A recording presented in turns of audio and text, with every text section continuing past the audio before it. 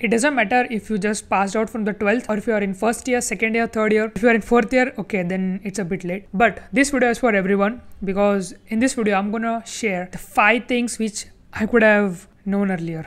But still, in the end, I'm in fourth year, so I got a good placement. I'm gonna sharing all of my engineering journey, how I did it, how I experimented with my life, but still ended up with the good placements, with the good memories.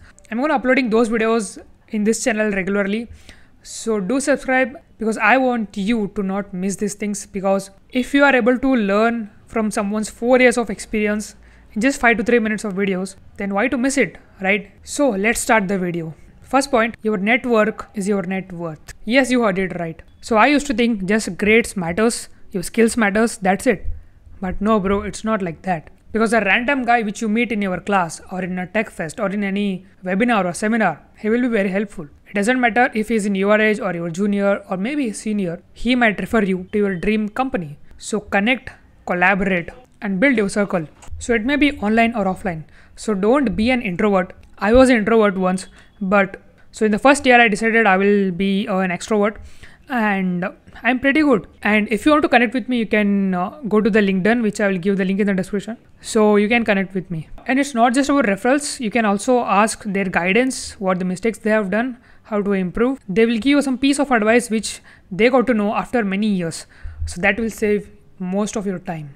And number two, first year feels chill, but don't waste it. See, in my first year, I wasted a lot of time. So I didn't learn any skills. I just did time pass. Even I can't even say waste of time because uh, I made a lot of memories. You can say that. But you should also learn side by side skills. Uh, in my first year, I didn't learn anything. I started with the web development, but I uh, stopped after three to four months. So I'm telling you, start with the web development because you will be seeing a front end result of what you're doing. So that will give you motivation and after that you can start with the dsa some people what they do they start dsa in the first year uh, then they go for the development. And before those two first you have to learn a language. I started with the c then i got to know c++ is better. Then i started the c++ i finished in the three days. Start exploring your interest your passion. For example i started making videos content creation editing etc and if you are good at it you will easily get internship and you will start making money and most of the people get internships in their fourth year. So if you're interested in tech and you want to get internships in just your first year or second year, then you have to watch this video. This video literally gave me a lot of insightful ideas how you can get internships you know second year. The person who got internship here she got it in her second year that too in a Razorpay which is a very pretty good startup. So i will give the link of this video in my description. You can go and check this out. And after watching this video i got to know their college which is nothing but newton school of technology. I got an update this Newton School of Technology is going to open in the Bangalore. So students who are joining this college will be getting an exposure to that tech because Bangalore is a silicon city, AI, robotics, entrepreneurship, and a lot of things. So students who are in this NST, they're getting internships in the first year and second year itself. And not just that, they're getting paid stipend from 20,000 to 1.25 lakhs a month. And if you want to join Newton School of Technology, they have entrance test, which is known as NSAT and this entrance exam will be going on the 10th and 20th of this June. So if you're really serious about your tech career, then I recommend to join this NST and you can give their entrance exam.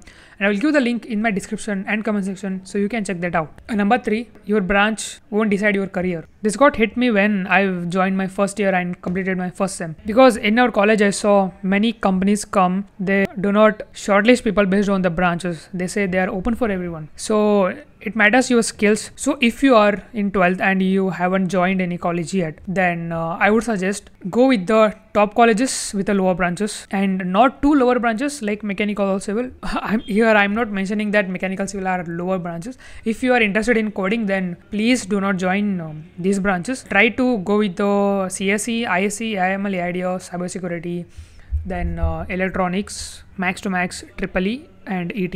And after that, you can uh, jump to the CSE or AIML after your first year if you get pretty good CGPA like 9.8 or 10 CGPA. But if you can't change your branch, if you are stuck in EC or ET, then uh, you can also side by side study about the computer science, how coding works, and all of those things so that you can easily apply for the software companies as well. Number four, do experiment with your college life. This is the most important thing that many people miss. They only stuck with academics, and I'm the guy who did everything who tried to fit in the every type of shoes which I get. I started content creation, I did video editing, I did content strategist, I did freelancing. You might know Tharun Speaks. He appreciated me. He gave a gift to me that saying uh, I got a second rank in a national content creator.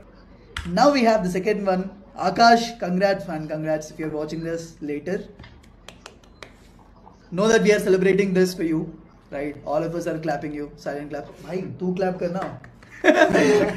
So I did a side hustle, made some extra money there, uh, and I paid my own college fees in my third year. And not just that, I did trading, graphic designers, core member of the Google Developer Club, volunteered many, many hackathons, went into hackathons or won some. And there is a club known as nss i went there that blood donation camp oh, going to the laborers. There are a lot of bunch of things i i literally tried everything and uh, we just had a farewell two days ago and and our college gave a certificate that I'm an outstanding extracurricular person. You can also showcase this in your resume as well that you not just in the academics you can do everything because that will showcase your leadership and your and you can handle bunch of things like multitasking like the uh, number five, communication is better than just knowing technical skills. So I'm speaking to you, right? This is what the communication skills because that's how you convey your message, your language, you express your ideas, right? Started this YouTube to improve my English, and now you can see it's pretty much good. Even in placements, if you speak very fluent English and you are pretty confident, and that will make you unique. So that's it. I will uh, see you guys in the next video and do subscribe. And uh, if this video was helpful, do share with your friends.